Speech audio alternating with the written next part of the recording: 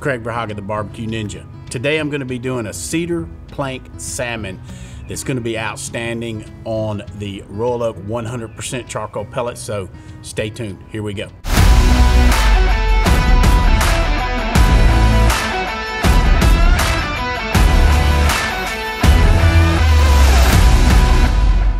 What I'm gonna do first is I got some melted butter and I'm gonna chop a little bit of dill to go in there. We'll get that in here. We're gonna get three fresh lemons squeezed.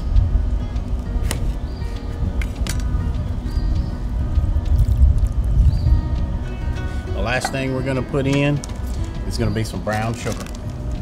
We want probably about a half a cup of brown sugar. We're gonna get the get the salmon on the cedar planks. We'll get those on the smoker. We'll, we'll add this mixture as we go along. We're gonna cook these at 300 degrees, and at that temperature, this this will cause the the boards which have been soaked in water to release that cedar flavor into the into the salmon. We've had these on now for about 30 minutes. We've glazed them about three times each, you know, 10 minutes, 8 to 10 minutes, we put the glaze on there with the lemon, the dill, the brown sugar, the butter. So they're ready to come off. This is gonna be awesome. Look how beautiful. Now we'll go to the plate.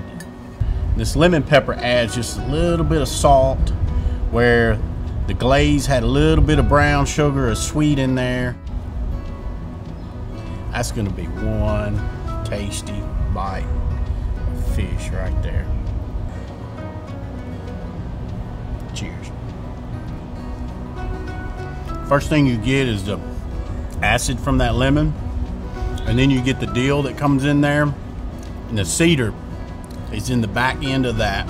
All this together did exactly what I wanted it to with this recipe. You need to try it at home.